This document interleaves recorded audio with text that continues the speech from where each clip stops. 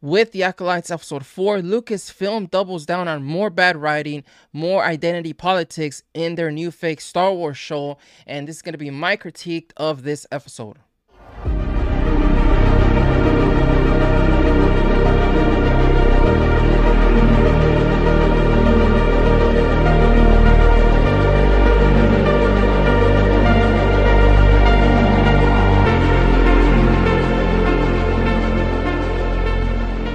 Not surprisingly, it does not get any better with episode 4. There's just a lot more bad writing there, a lot more plot holes, inconsistent story, badly written characters, and a lot more cringe inducing moments.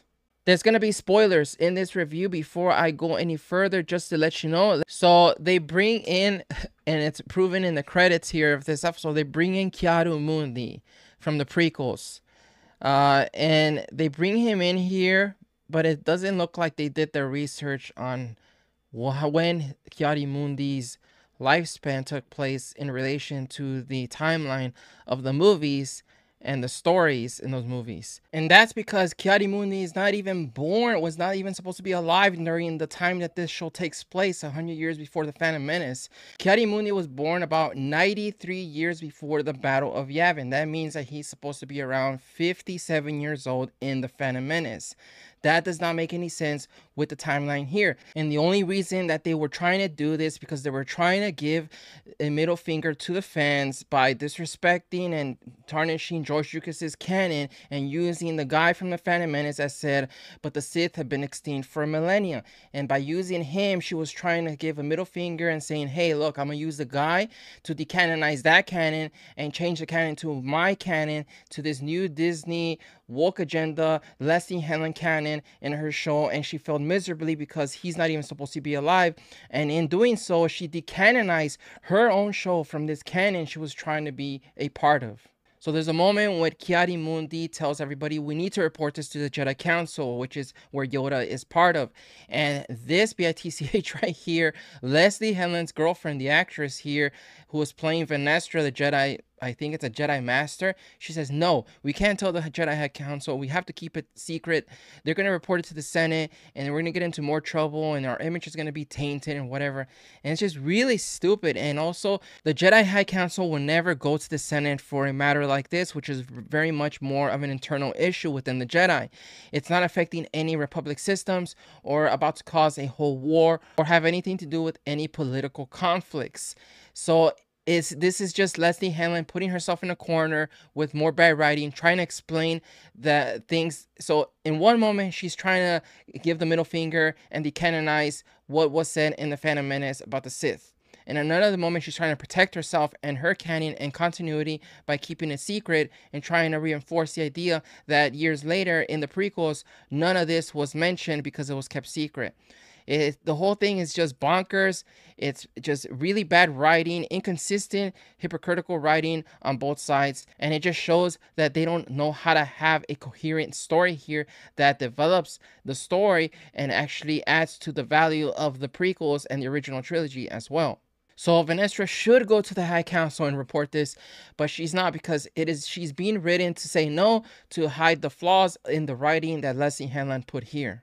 So they also couldn't help themselves here by finally adding pronouns in this fake Star Wars universe that they have here and adding it to this uh, hamster looking alien character. And there's a moment here where like she's like, what is that thing? Or what is what is he or they? And it's like, oh my god, I can't believe they actually did this. And they're doing it to like this hamster looking alien character and it's just all it's all just trash and insanity. We have some more awkward dialogue here in moments. Uh, the writers thinking they're clever with some little like fortune cookie sayings that these characters say, but it's all badly written and it comes off as disingenuous.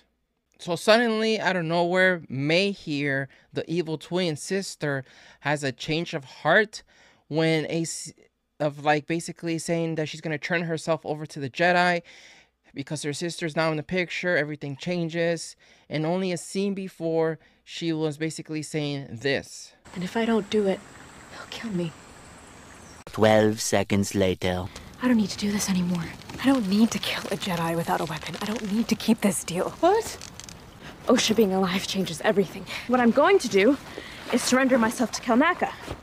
And then turn myself into the Jedi. No. This is not how you write characters. This is not how you write a story. Where is the conflict and dilemma for her to have gone through this change? There should have been multiple scenes where she's struggling with her conscience. The, the previous scene, she was so determined to go fight and kill this Wookiee and afraid that her master was going to kill her. And now suddenly she's says, you know what, I'm not gonna do this.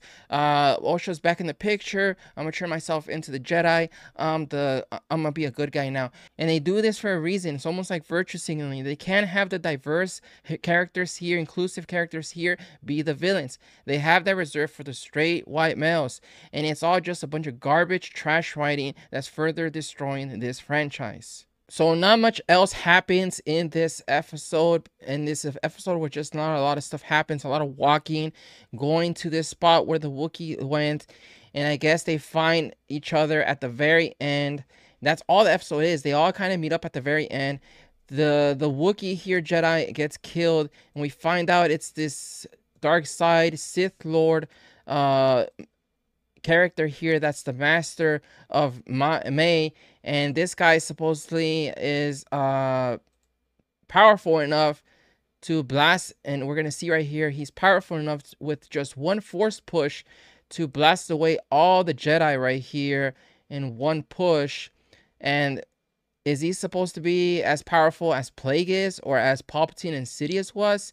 That's quite a bit of power and a little bit um, over exaggerated. And I guess we're gonna see what the story is, regardless of what they're trying to do with the story. They're trying to match it to whatever George Lucas's continuity is and canon with Darth Plagueis and Palpatine. And if they want to try to make this guy connected to them or as powerful as them, and he's a new guy, or he's there's even rumors that he might be an early version of a Knight of Ren and that sort of thing, or a different kind of dark side user, or maybe he is a Sith Lord that wasn't mentioned.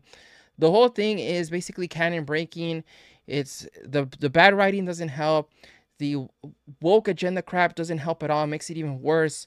And the whole thing is just a pile of crap. This is not Star Wars. This is not what we Star Wars fans want from our Star Wars. We don't want these kind of stories that are being shoved down our throat with these political agendas, with badly written characters, cringe inducing moments, and uh, a story that is basically kind of a retread of better stories that we've seen with like the Darth Plagueis novel and other EU stories and other stuff that we've always wanted to see.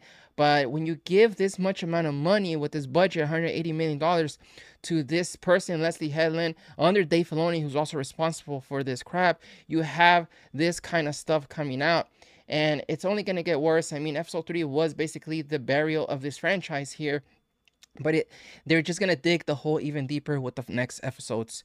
So that's gonna be my review. Let me know what you think. Hit that like button if you like this video. In the meantime i'll see you guys later